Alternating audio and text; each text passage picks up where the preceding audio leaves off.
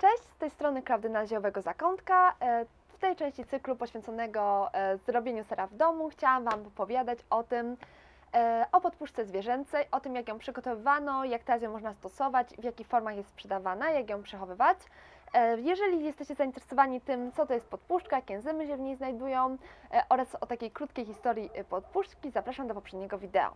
Jeżeli chodzi o podpuszczkę zwierzęcą, bardzo długo była to jedyna podpuszczka dostępna e, na rynku i bardzo szeroko stosowana. E, Podpuszczkę zwierzęcą, tak jak mówiłam wcześniej, uzyskuje się z żołądków e, młodych zwierząt, jagniąt czy tam koźląt. I taka podpuszczka bardzo często występuje w postaci płynu. Teraz można kupić podpuszczkę, która jest jakoś zestandaryzowana i moc jest zestandaryzowana powinna być ta moc, nie zawsze jest, ale powinna być e, napisana na podpuszczce. Jednakże dawniej właśnie e, każdy serowar miał swoją własną podpuszczkę o różnej mocy i w różny sposób e, ona też mogła smakować. I taką podpuszczkę przygotowano w ten sposób, że brano żołądek na przykład koźlęcia. Ten żołądek oprócz enzymów trawiennych zawierał też mleko. E, Było to mleko z siarą. E, Siara to jest to takie pierwsze mleko, e, którym samica karmi młode. Ono jest bardzo, bardzo odżywcze. Wylewano to mleko, oczyszczano żołądek, wkładano mleko z powrotem do tego oczyszczonego już żołądka. Czasami wkładano też odrobinę sera z poprzedniego przygotowania i dzięki temu uzyskiwano nie tylko podpuszczkę, ale od razu już rozmnożony set bakterii serowarskich. Tak jak powiedziałam teraz, można kupić wystandaryzowaną podpuszczkę. E, Taką podpuszczkę bardzo często kupuje się w formie płynnej albo w formie tabletek.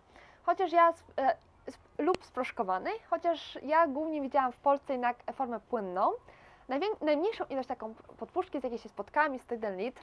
To jest bardzo, bardzo dużo, tyle podpuszczki zdecydowanie nie potrzebujemy. I taką podpuszczkę w lodówce można przechowywać przez około 2-3 miesiące, więc nie jest to też jakaś duża, nie jest to jakoś zbyt długo dla kogoś, kto robi sery sporadycznie albo z niewielkiej ilości. Także zdecydowanie, jeżeli zdecydujecie się na podpuszczkę zwierzęcą, to zapytajcie sprzedawcy, czy jest możliwość kupienia mniejszej ilości. E, Podpuszczka zwierzęca mm, jest też używana bardzo często i właściwie jest lepsza od podpuszki wegetariańskiej, o którą powiem w innym wideo, e, jeżeli chodzi o sery długo dojrzewające. Dlaczego? Dlatego, ponieważ nadaje im specyficzny smak, to raz, a dwa, e, jeżeli stosujemy podpuszczkę wegetariańską, e, to taka podpuszczka po długim czasie ma tendencję do e, gorzknienia.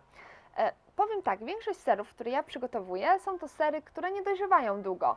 Dojrzewają powiedzmy sobie 2-3 miesiące, więc to nie ma takiego problemu. Ale gdybyście chcieli robić, nie wiem, parmezan czy jakiś inny długo dojrzewający ser, to wtedy tradycyjnie przygotowuje się go na podpuszczce zwierzęcej. I co jeszcze powinniście, powinniście wiedzieć o takiej podpuszczce? E, Podpuszczkę przygotowuje się w ten sposób, że mm, najczęściej rozpuszcza się ją w niechlorowanej wodzie, to jest bardzo ważne, żeby była niechlorowana i dodaje się, na innych filmach też pokazywałam w jaki sposób, dodaje się już po wszystkich dodatkach do mleka, czyli najpierw powiedzmy sobie dajemy bakterie, jakieś takie, jeżeli mamy na przykład barwnik typu annato i na samym końcu dodajemy podpuszczkę, utrzymujemy temperaturę, zamykamy e, nasz garnek i odstawiamy w zależności od temperatury, od ilości tej podpuszczki e, na około em, 30 minut, godzinę. Niektóre sery, na przykład takie sery kozie, to może być nawet e, 6 godzin, w zależności od przepisu. E, Producent powinien Wam podać, ile tej podpuszczki należy zużyć. Niektórzy dają ją też e, bezpośrednio do sera, ale jednak lepiej ją e, rozpuścić wcześniej w wodzie, ponieważ będzie taka bardziej e, równomiernie rozłożona po całym serze. I teraz sobie jeszcze sprawdzę, czy Wam wszystko powiedziałam. Tak, opowiedziałam Wam wszystko, e, co chciałam powiedzieć, dotyczące podpuszczki zwierzęcej.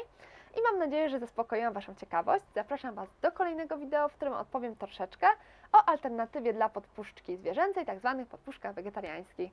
To tyle, do usłyszenia, cześć!